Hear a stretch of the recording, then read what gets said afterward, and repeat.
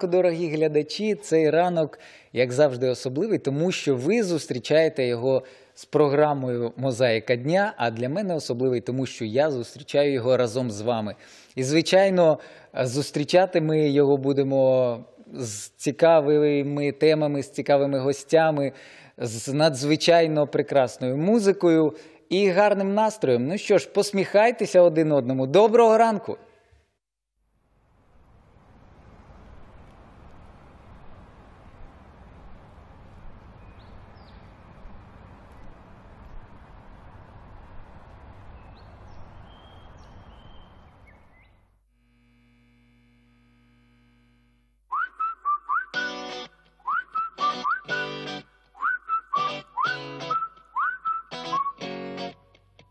Палаючи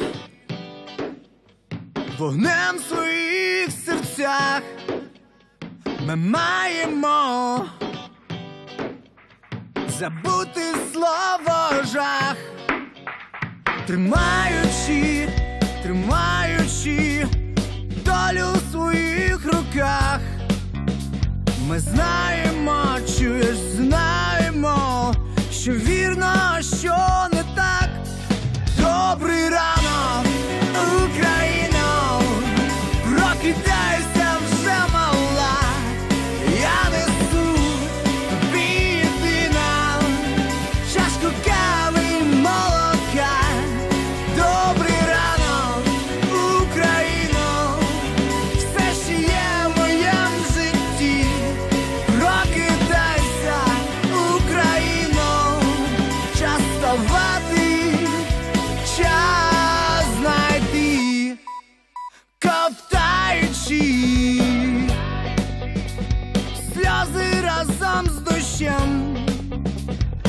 giant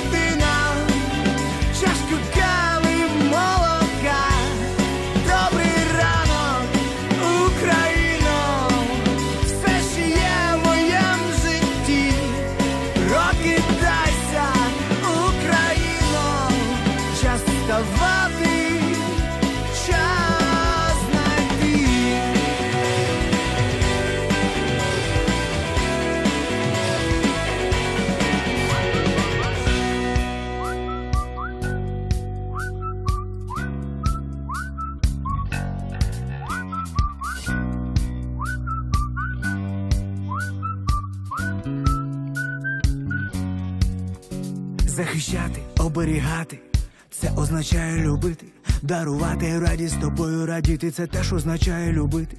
Любити значить прощати, і просто як є сприймати. Для мене ти люба й кохана, для когось рідна мати. Добрий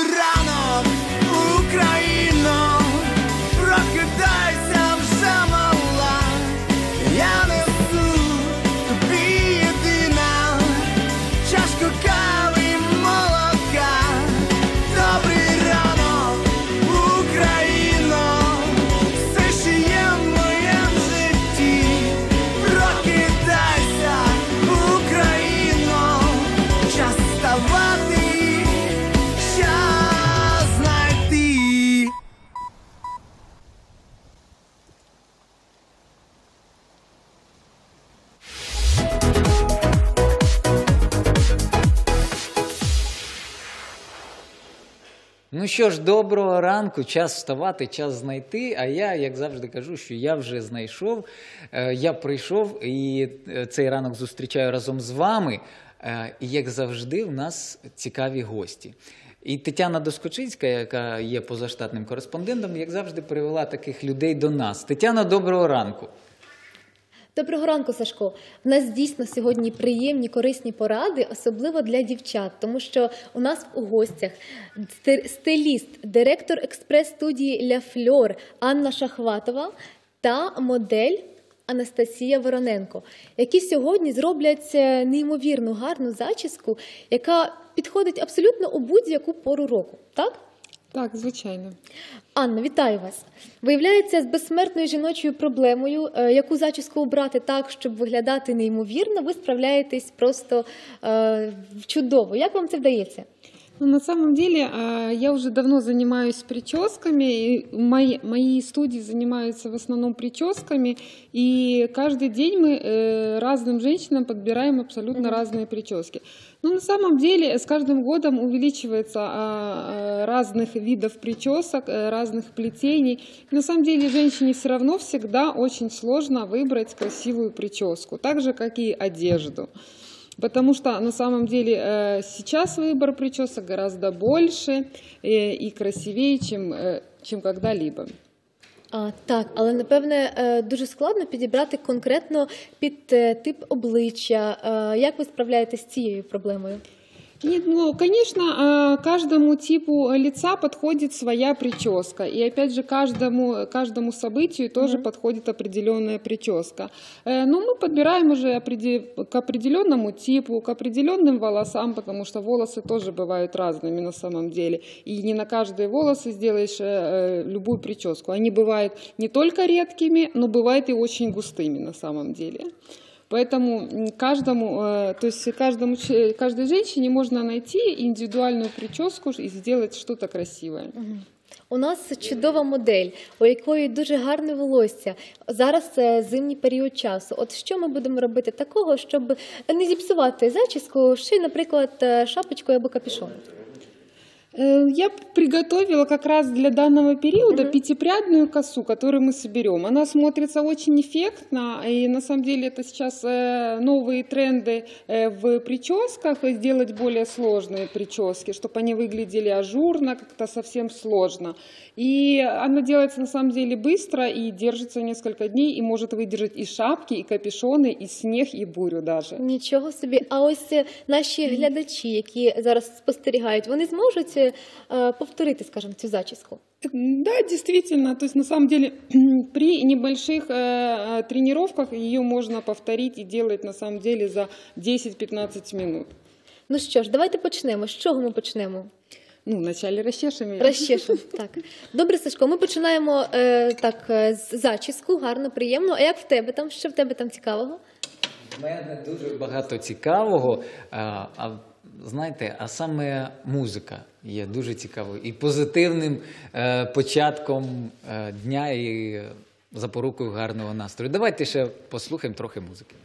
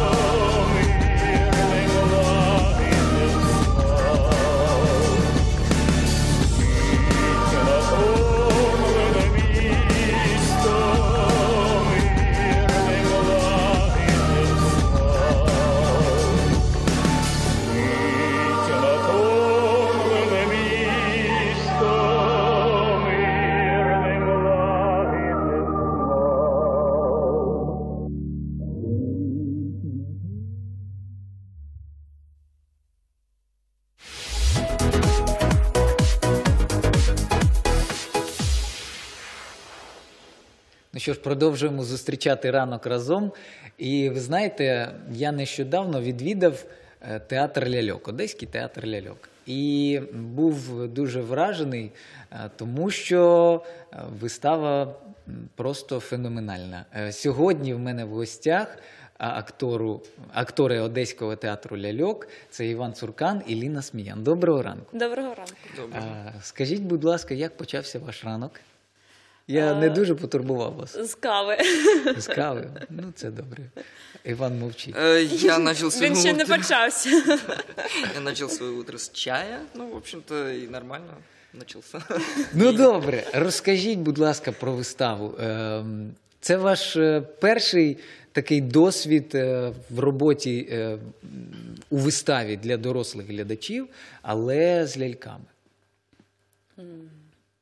Нет, это наш не первый опыт. Э, Наш опыт включает в себя уже состоявшийся спектакль «Бумага» для взрослых.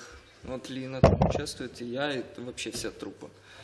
Э, Но для меня лично это, не знаю какой по счету, но, в общем-то, уже Ну, здається, 13-та зірка, чи там Да, як 13 теж. звезда тоже, Оскар и Розовая дама. Ну, я их не считаю, в общем, какие они по счету. Это очередной спектакль, который очень действительно крутой, классный. И мы словили свой кайф. от этого. Як е, для вас пройшла прем'єра? Я був на здачі і якось, е, ну, знаєте, прем'єра і здача, вона трохи по-різному проходить іноді. Ну, э, тревожно, но хорошо. По-доброму. Да, по-доброму хороший. Да, ну другой нерв. На сдаче был другой нерв, а на премьере какой-то вообще иной нерв был. Но хороший такой, приятный. Он всегда будет. Такой нерв, но разный. Да. Вже були відгуки глядачів.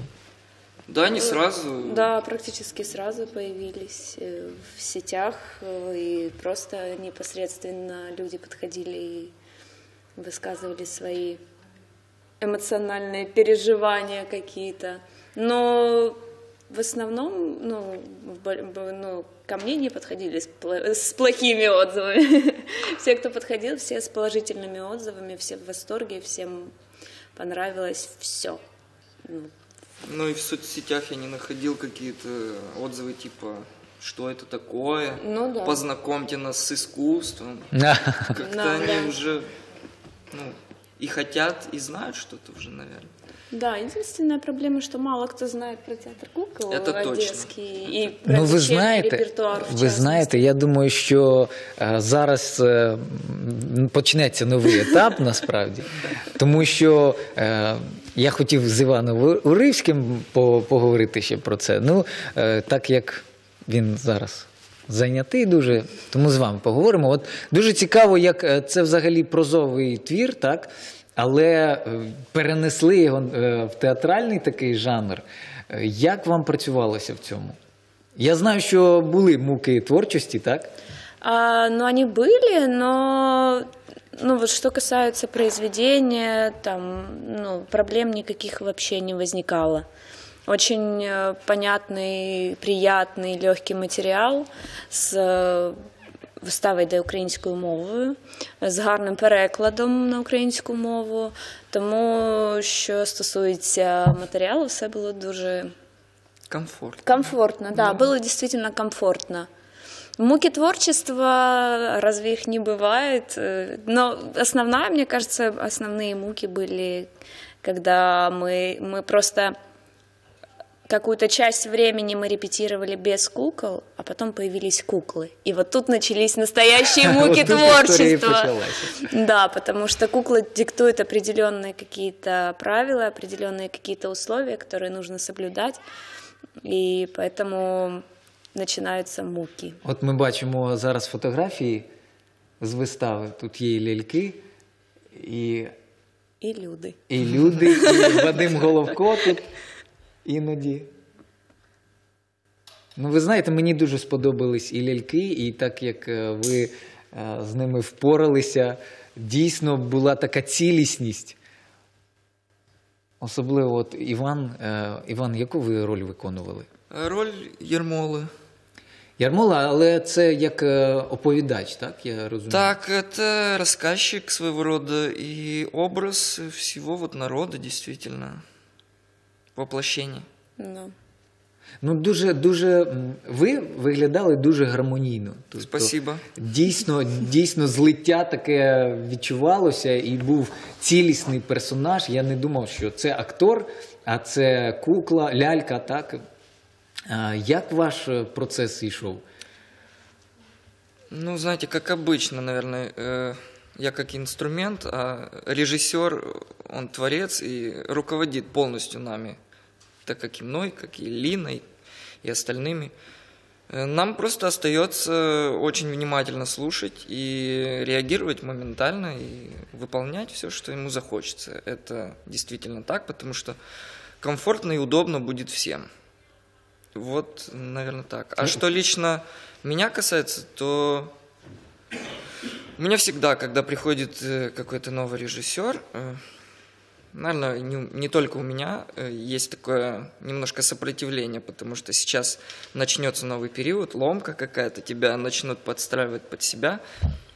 Ну, только это. Вообще, в целом, комфортно и очень здоровая такая энергетика была рабочая. Це відчувалося, і знаєте, от Тетяна е, сказала, що він так любить свою ляльку. Я кажу, цілісність така відчувалась. Ліна, а у вас як? Все-таки, е, от ви дуже різні з лялькою. Насправді, але на сцені це був дійсно один персонаж. Як у вас е, пройшов цей шлях? Ам, Ну, э, это, наверное, так же, как и мы все люди, мы разные, в то же время мы являемся одним человеком, да. Ну, то есть у нас есть какие-то противоположные качества. И с Олесей так и произошло. Э, Я виконую роль Олесі. Олесі. А, Так и произошло. Эм, Ну, я для себя это как-то... Я просто поняла какие-то грани, кто я, кто кукла, что, кто за что отвечает в наших отношениях, э, взаимоотношениях. И как-то с ней договорилась. И От, от у нас Олеся, це лялька Олеся, так? так. А Ліну зараз ви побачите вживу, наживо.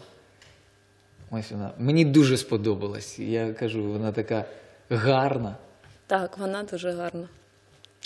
І як таких ляльок можна не любити? А от дивіться, дивіться, от ви кажете, є лялька, є я, але є персонаж. Е, По оповіданню, по п'єсі, так, це відьма.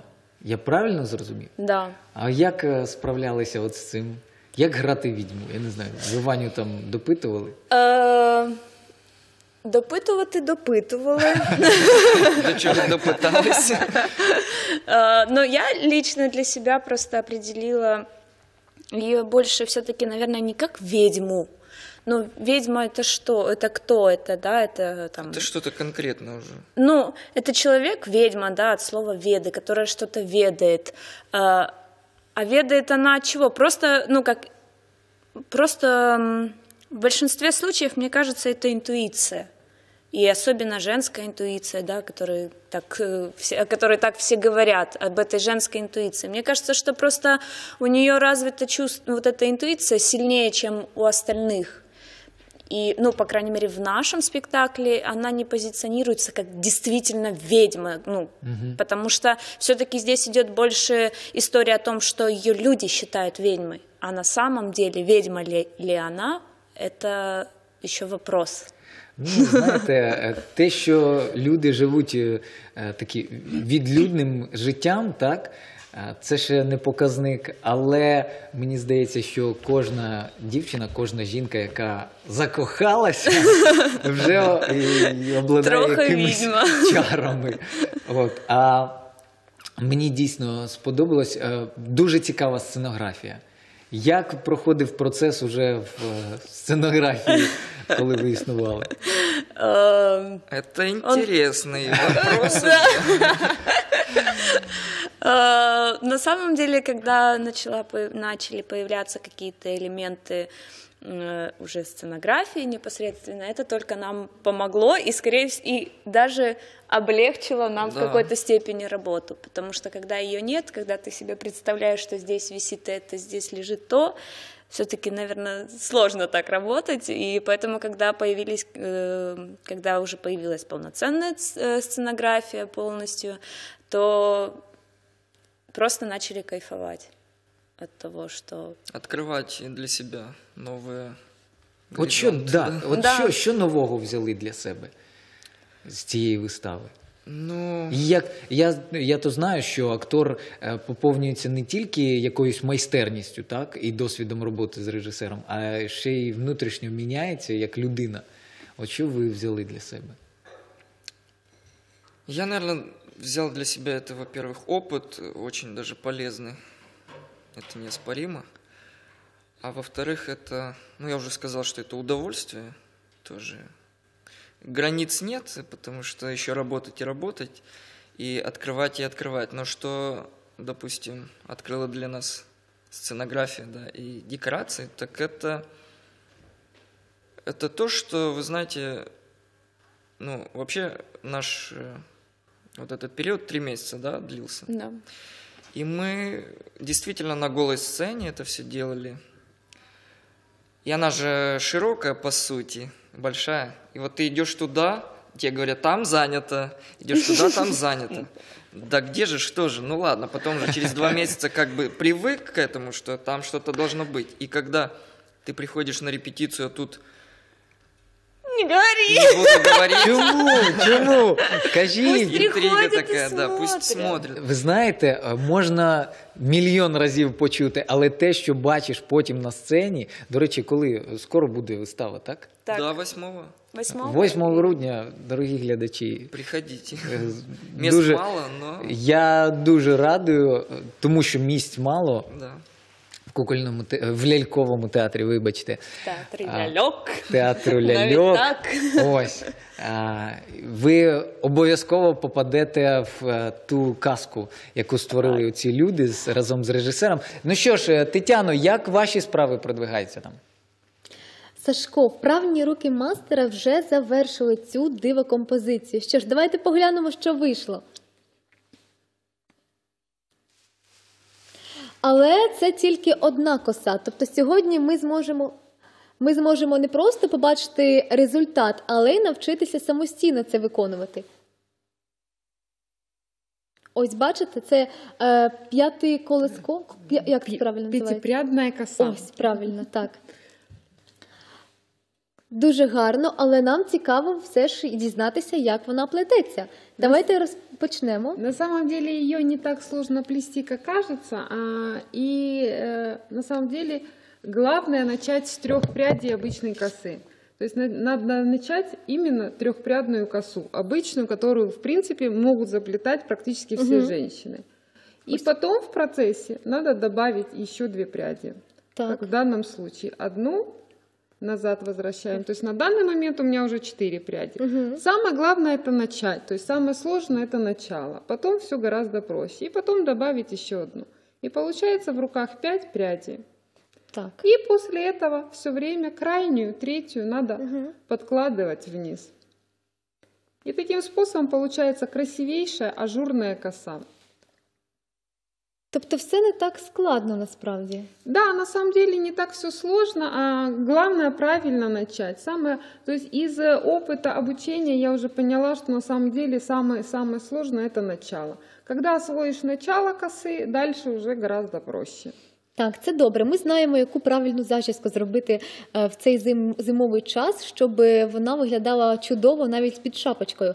А ось е, як справлятися з волоссям, яке, наприклад, може бути сухе в зимовий час або випадати занадто сильно? Як вам це? Як ви справляєтесь з цією проблемою? Ой, ну, конечно, в зимний период э, волосы, конечно, страдают от мороза, холода, ураганов наших. И, кстати, часто женщины не носят шапочки и, опять же, подвер- морозам свои волосы, то есть в внешней среде. Конечно, лучше всего э, использовать постоянно масочки, кондиционеры э, для волос, которые защищают. Сейчас на рынке как бы довольно-таки много продукции, которая это может помочь сделать. Главное это использовать.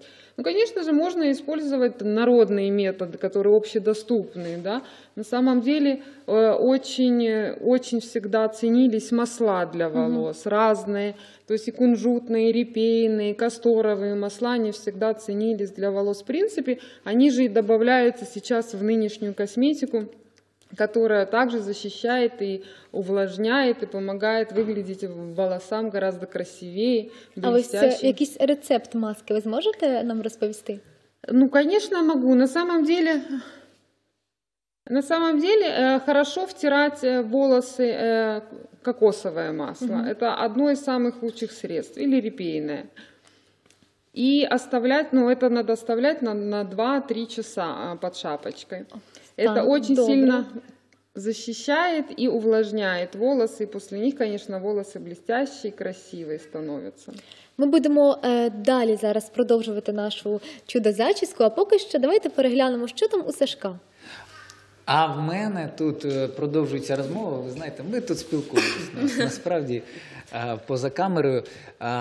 Поки що діти вдома. Я хочу із і для них зробити приємне. Давайте подивимось сюжет.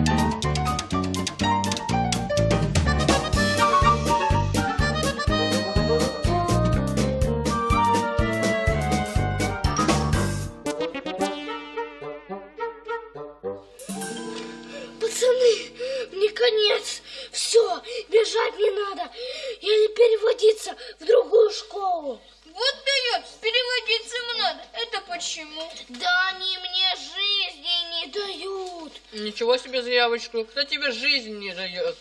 Преподы, что ли? Да какие преподы! Буквари наши! Отличницы! Ты дурак, с ними дружить надо. Они же отличницы. Ага, расскажут, когда надо. Списать дадут, если хорошо попросить. Ой, Кристина, смотри, это он. Какой же он бледный. Да уж, не повезло Артуру. Бедненький.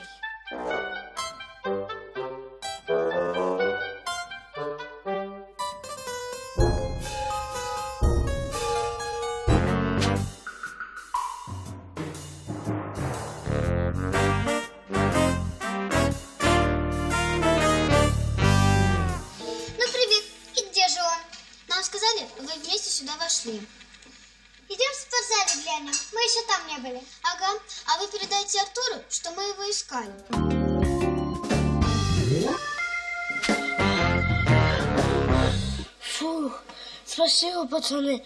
Принесло с меня бочка и бочка. И чего ты так боишься? Да они со мной математикой уже две недели занимаются. Спасибо математичке. Достали уже обе. Глаза горят, зубы сверкают. И понеслась. Учи математику, зубри математику, читай математику, читай математику. Учи, зубри, достали. Ребята, вы здесь Артура точно не видели? Да, то есть нет. А вы что, влюбились? Бегаете за ними туда-сюда. Еще чего, влюбились. Разговор у нас к нему серьезный. Девочки, а вы в курсе, что это столовая? Здесь, между прочим, люди едят. А вы им мешаете. Что могло случиться, что вы на уши всех подняли? Так Мария Ивановна контрольную уже проверила.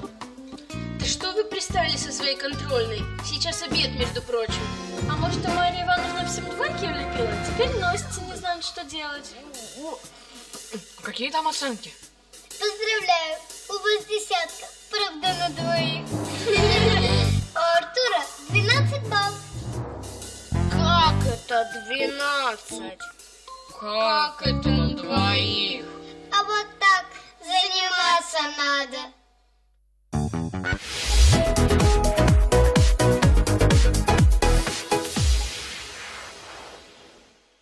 Отак, займатися потрібно, тому поспішайте в школу, шановні. А ми поки продовжуємо спілкуватися з гостями. Це актори е, Одеського театру Ляльок е, з новою прем'єрою Олеся, яка пройшла нещодавно, і яка от е, на днях ще буде повторюватись, так що слідкуйте за анонсами. Ліна Сміян, Іван Цуркан. Шановні, я вам хочу сказати, що б там не казали, я не знаю, що там говорять е, ваші глядачі, які подивилися прем'єру, але своє відчуття я вам хочу розказати. Хочу сказати, що це дійсно круто, що е, театр ляльок це не тільки дитячий репертуар, а тепер. Ну і взагалі-то не тільки тепер, ви то знаєте, який репертуар для дорослих, але Олеся дійсно така чарівна казка для дорослих, яка м, я хочу, щоб вона відкрила двері і для інших вистав, для глядачів, щоб е, познайомились, щоб зрозуміли, що дійсно е, круті вистави у вас йдуть. І хочу вам побажати аншлагів на всіх виставах і для дітей, і для дорослих.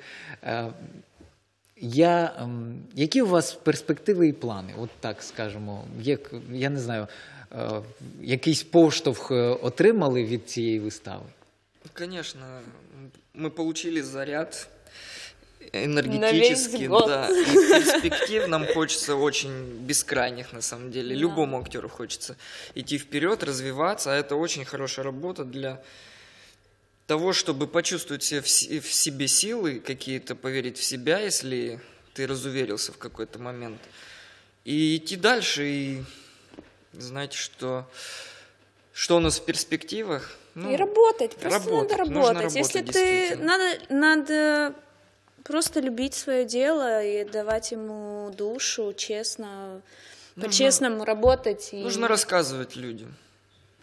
Ну, добре, ще одне питання. От е, що для вас, для вас, Іване, для вас, Ліно, е, що для вас ця вистава? Що для вас Олеся? М, Какой-то новый этап, новый шаг. э, А я, я от, знаєте, в художньому плані, от знаєте, про що вистава? От для мене це чарівна казка, дійсно, в яку хочеться вірити, що таке х- кохання буває.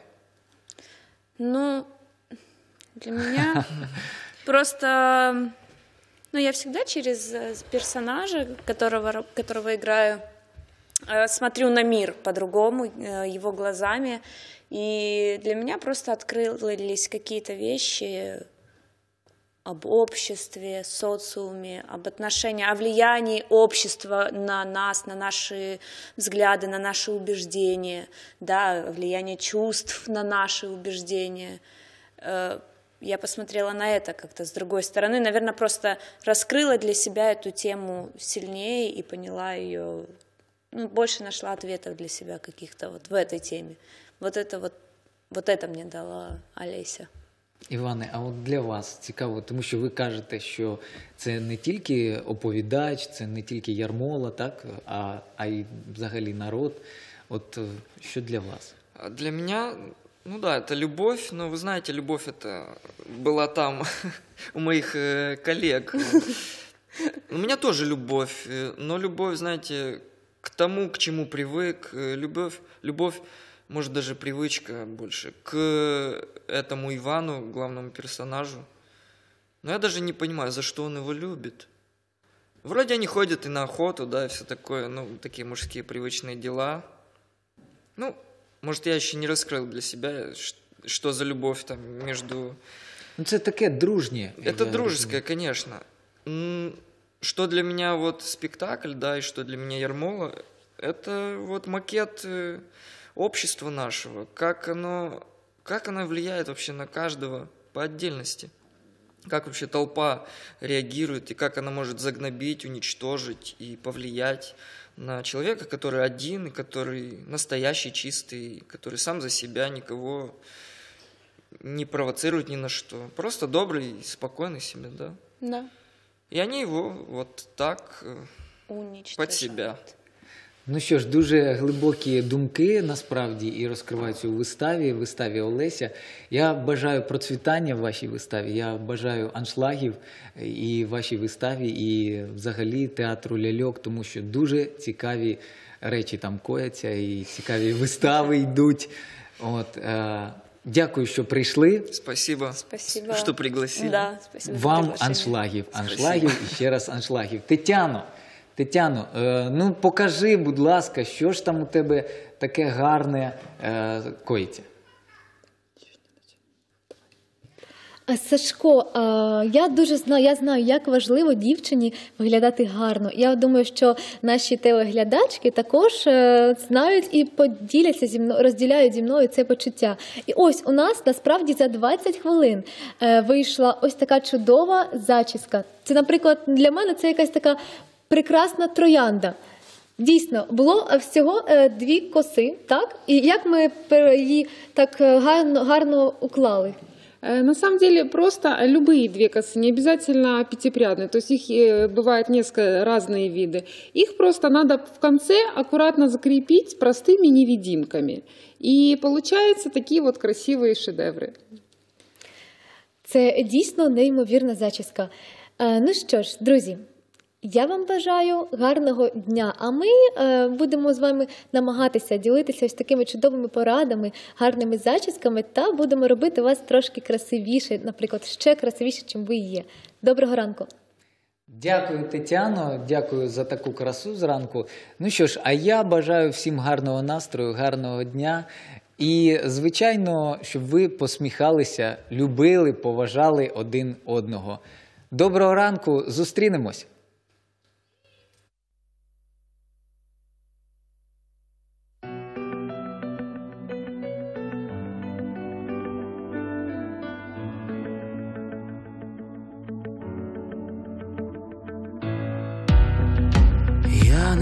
брат, ти не сестра моя, ніколи не розказуй мені, хто і в чому є ви.